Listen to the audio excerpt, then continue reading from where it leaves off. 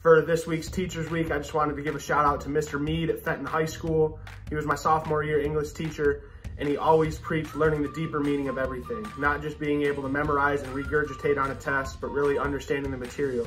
So I just wanted to say thank you for inspiring me throughout college to really learn everything that I'm doing. As part of Teacher Appreciation Month, I would like to thank my sophomore English teacher, Miss Hinkle, for giving me that little extra nudge I needed to uh, do, kind of put the best into my work. For she would never really accept the travesty of laziness. I can't wish her enough success throughout the years. With Teacher Appreciation Month this month, just want to give a quick shout out to back in my middle school days, Miss Jensen. Thank you for always pushing me and believing me. I would like to thank Mr. Tank and Mr. Smith in Fremont High School for showing me that although education is important, the true testament of a man is the way you build your character and treat those around you and better the lives of those who have helped better yours. And for Teacher Appreciation Month, I want to thank my teacher from Lyons Township High School, Miss Myers Cacciatolo. Thank you, Myers, for supporting me in the classroom and outside the classroom.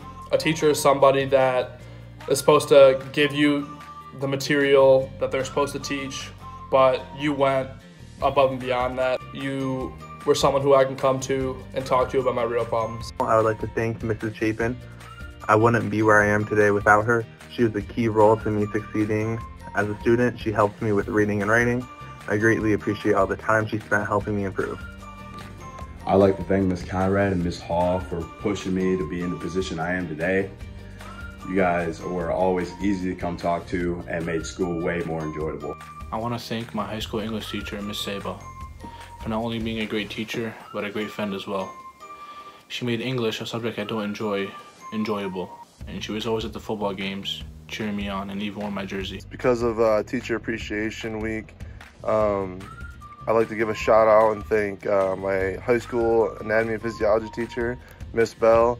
You're the reason why I chose to go to the medical field, and your class taught me a lot. I still use the stuff that we learned in class today. So I just want to say thank you. Uh, for Teacher Appreciation Month, I want to give a shout out to Mr. Beamer from Hudsonville High School. Uh, Mr. Beamer teaches AP US History. I had him. He's very energetic and really loves history, and he, his class is so much fun. And he helped me do really well on the exam, so thanks, Mr. Beamer. This week for Thank a Teacher, I just wanted to give a special shout out to Mr. Sandy at Hudsonville High School.